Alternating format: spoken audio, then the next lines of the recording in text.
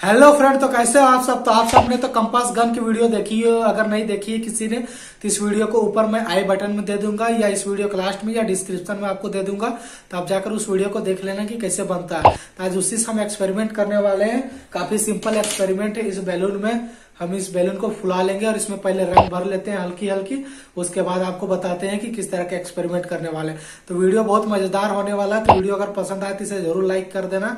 और चैनल नए हो तो नीचे आपको सब्सक्राइब का बटन मिलेगा तो सब्सक्राइब करके बेलाइकन को प्रेस करके ऑल दबाना ना भूले। तो चलिए आप जल्दी से मैं इन बैलून को फुला लेता हूँ। उसके बाद आपसे बात करता हूँ।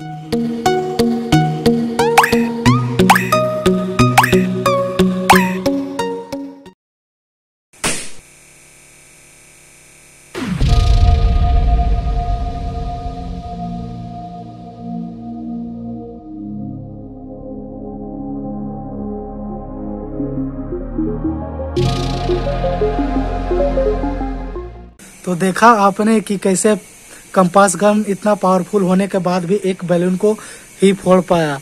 वो इसलिए हुआ क्योंकि ये जो बैलून है, वो जो गन की पावर को कम कर देता है। तो आप भी इस तरह के घर में ट्राई करने की कोशिश ना करें, ये बहुत खतरनाक हो सकता है आपके लिए।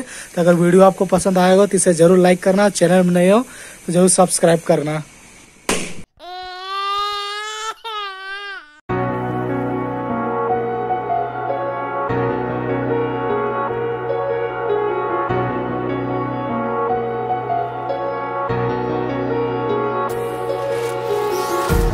Empty hearts and neon lights